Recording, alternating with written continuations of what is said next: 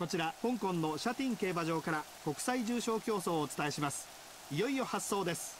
スタートしました。横一線綺麗なスタートを切りました。さあハナを切るのはどの馬か。ディバインコンダクト。前に行きそうです。アグネスワールド。それに続いています。さらにはミラクルショー。7番ワンダフルディッシュ。その後ろ。前に戻りましょう。アグネスワールド。先手を取りました。その外にディバインコンダクト。その外からミラクルショー。内からはジャック・フォックス。その外からワンダフルディッシュ。並んで5番デアリング・アムール。タマリスク。その内に続いています。その外にレーズ・ワース。並んで12番グローチャイナ。最終コーナーをカーブして直線コースに入りました。アグネスワールド。先頭1馬身から2馬身のリード。2番手はタマリスク。手応えは悪くありません。前を捉えられるか。やはりアグネスワールド。先頭だ。アグネスワールド。頑張る。アグネスワールド。先頭。アグネスワールド。迫る。タマリスク。迫る。アグネスワールド。もうひと伸び。アグネスワールド。アグネスワールド。1着。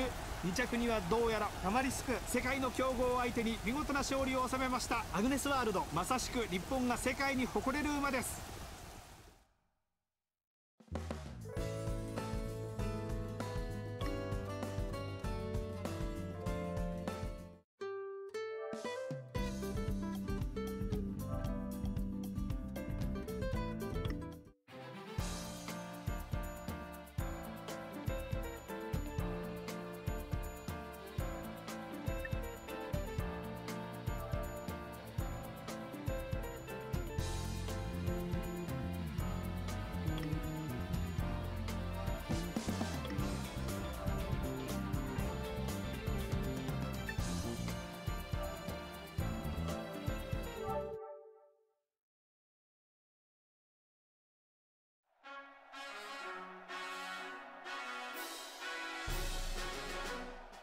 こちら香港のシャティン競馬場から国際重賞競争をお伝えします。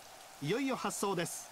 スタートしました。横一線綺麗なスタートを切りました。さあ先行争い何が行くんでしょうか。ランキルデー前に行きそうです。シルキーサミットそれに続いています。さらにはゴールドコンバット11番メジロブライトその後ろ。スーパーシンデレラ後方からでは前の方からシルキーサミット先手を取りました。11番メジロブライト2番手を追走しています。並んで4番ゴールドコンバットその外からカフェビッグその外にキーンランドシンガー。この辺りで各馬第1コーナーに殺到していきました。では前の方からなんとなんと先頭はメジロブライト。これには場内もどよめいています。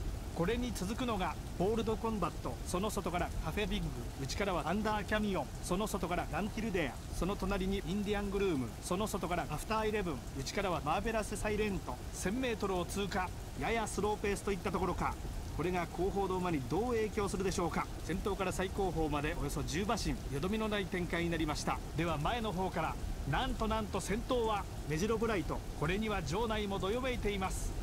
その後ろからはカフェビッグすぐ後ろにランティルデア赤の帽子ホールドコンバットその後ろこの辺りで各馬第3コーナーに入ります。さあ先頭はまだ11番メジロブライトカフェビッグ先頭に襲いかかってきました。ホールドコンバット3番手。さあメジロブライトこのまま逃げ切れるでしょうか。後続も追い上げていきます。最終コーナーをカーブして直線コースに入りました。メジロブライト先頭。2馬身から3馬身のリード。2番手はラウンキルデア。懸命に追いすがります。やはりメジロブライト先頭だ。あと 200m メジロブライト先頭だ。後続との差はまだあります。このリードを守れるか。2番手はラウンキルデア。先頭はメジロブライト。1着でゴールイン。メジロブライト。1着。2着にはどうやらラウンキルデア。世界の強豪相手に見事な勝利を収めました。メジロブライト。まさしく日本が世界に誇れる馬です。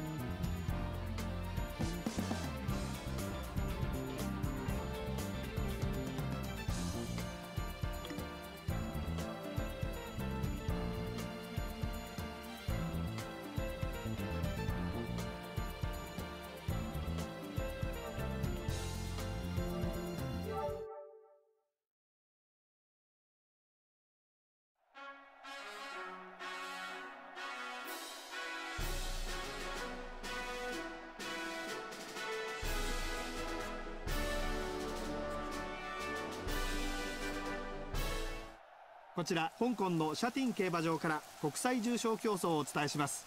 いよいよ発走です。スタートしました。河内サタデー。好スタート。パーソナルフロンティア。この馬も好スタートを切りました。ロイヤル鈴鹿。前に行きそうです。サマーキューティーそれに続いています。さらには河内サタデー9番パーソナルフロンティアその後ろ前に戻りましょう。先頭に戻りましょう。先手を取ったのは河内サタデー。すぐ後ろにサマーキューティー緑の帽子パーソナルフロンティアその後ろニューフルーツ。それに続きます。並んで5番サイレントリボーン。内からはラストスコープ。さらにはアフターエミネンス。これに続いてインディアンサイレントナイトピナクル。すぐ後ろ最後方にアコティブエミネム。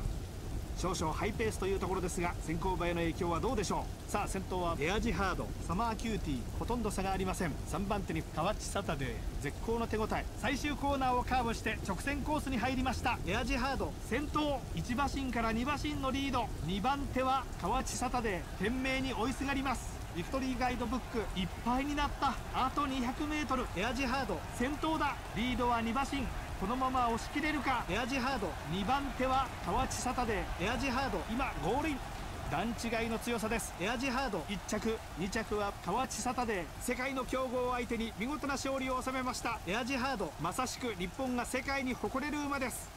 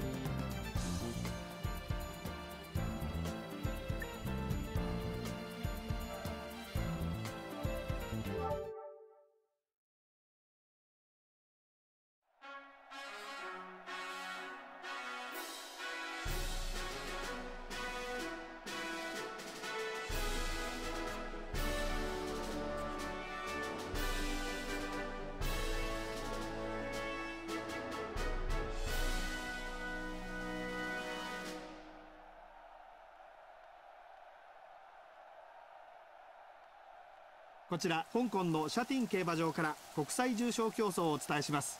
いよいよ発走です。スタートしました。各馬綺麗なスタートです。どの馬が先頭に立つでしょうか。ストーミーソニア前に行きそうです。河内大王それに続いています。さらにはシングルキャスト9番サーストンソリストその後ろもう一度先頭から見ていきましょう。なんと先頭は河内大王これには場内からも歓声が上がります。もう一度先頭から見ていきましょう。なんと先頭は河内大王これには場内からも歓声が上がります。並んで11番ストーミーソニア。これに続くのがパラダイスブライトフェアキャロットそのうちに続いています。並んで7番アルーリングデューク。その外からシングルキャスト。その隣にサーストンソリストレイパーフ。そのうちに続いています。その外にウィンドクリーク。スーパーハウス。そのうちに続いています。その外にプリンス・キャロル。青の帽子。サーストン・ロッキー。その後ろ先頭から最高峰までおよそ8馬身。各馬一塊です。では前の方から。先頭はなんとなんと河内大王場内も大歓声。前は河内大王ストーミーソニアほとんど差がありません。パラダイスブライト3番手さあ河内大王このまま逃げ切れるかどうか。最終コーナーをカーブして直線コースに入りました。先頭はストーミーソニアストーミーソニア先頭。2番手はストーミーソニア。ストーミーソニアいっぱいになった。やはり河内大王先頭だ。残り 200m 一気に後続が襲いかかってきた。残り 100m 河内大王差を広げる。2番手はストーミーソニア。完璧です。圧倒的な強さを見せました。河内大王1着。2着はストーミーソニア。世界の強豪相手に見事な勝利を収めました。河内大王まさしく日本が世界に誇れる馬です。